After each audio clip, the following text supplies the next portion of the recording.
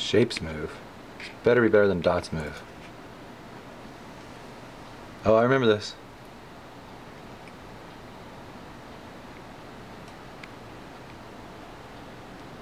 I remember these shapes moving.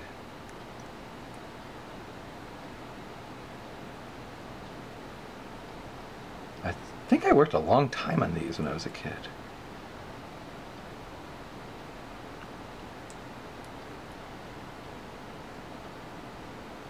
It's like the digital equivalent of the kids' crayon chop drawings.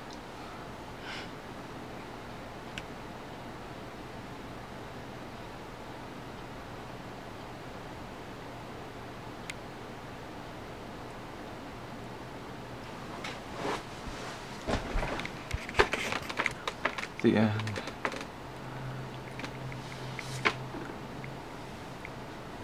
end.